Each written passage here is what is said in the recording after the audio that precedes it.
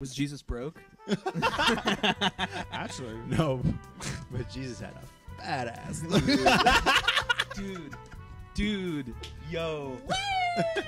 Why have we not talked about this? Yo, bro, Jesus walked around a lot. yeah. Are you kidding Dude, he probably had some cake, He- brother. dude, Jesus was a thickum. Dude, Jesus was Jesus, Jesus, was a, thickum, Jesus dude. was a thickum among the he rest. probably. No wonder he had disciples. dude, I bet, I bet, baby. I bet when they put him up, No, they he had had to. disciples because they were a. like, They were like Damn, walking. Jay. They're like, Dude, they probably had to switch him off different boards because he kept fucking knocking it over because he's so Shit. thick. Dude. You know what? And he was a carpenter, so he was always making some chairs. And he was eating some tacos at night, both mm-hmm. types. I don't, I don't, you know what I mm-hmm. mean? Yeah. There's a reason why Mhm. Judas wanted to kiss him on the cheeks. He's like, my savior.